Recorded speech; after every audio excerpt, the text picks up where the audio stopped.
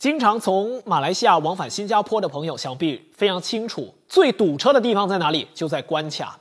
而今天一早呢，有许多网民呢就在面子书上抱怨了，说新加坡关卡那里呢就大堵车，在新柔关卡他们至少塞了大概一个多小时，另外还配上一张照片，写了一句话说一个小时了。都还没有到半桥，那很多网民看了都觉得，哎呀，挺可怜的。但是大家都搞不明白，你堵车怎么会堵到这样的程度啊？到底今天发生什么事情呢？那在告诉大家为什么会堵得这么严重之前，要先给大家一个心理准备，因为今天过后呢，雾兰还有大石关卡恐怕会更加堵车了。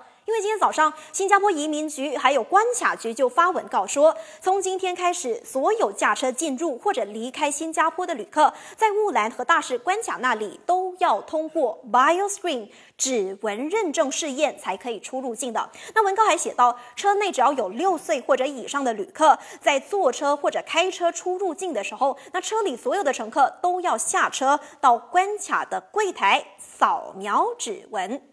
呃，简单来说呢，就是这样。你必须像这样哈，你要下车到柜台交护照，交了护照呢，就把你双手的大拇指都放在扫描器上面，然后呢，滴哦，通关手续完成了，你就拿护照回到车上。那这三个步骤啊，交护照，呃，放拇指，再拿护照，听起来很简单。一个人的行动，只要你快啊，你不拖，基本很快就能过了。只不过长堤上的通关者。他们可不认为这真的能够做得很快。那南洋商报今天就访问了一些新加坡的开车人士。那有人说，他和家人每个月都会驾车到新山一两次的，而且每次都是一家四口一起去到新山买东西啦、吃吃饭的。那如果每个人下车都要花至少一分钟哦，算他一分钟来扫描指纹的话，这样来来回回每辆车的通关时间呐，就会被拖到很长很久了。所以以后一定会更加堵车的。